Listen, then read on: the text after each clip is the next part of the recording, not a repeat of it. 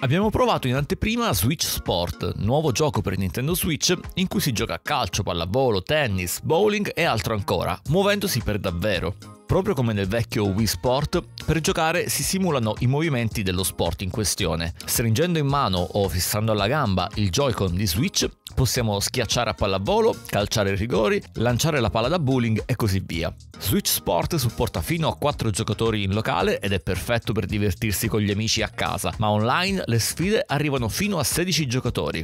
È frenetico e divertente, vi farà muovere parecchio e perfino sudare dalla fatica. Sarà disponibile per tutti dal 29 aprile, ovviamente su Nintendo Switch.